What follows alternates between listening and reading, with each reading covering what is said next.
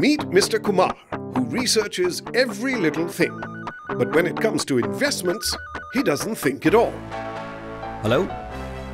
What? Exopharma shares. Buy it. Because he's with Motilal Oswal. Motilal Oswal. Solid research, solid advice.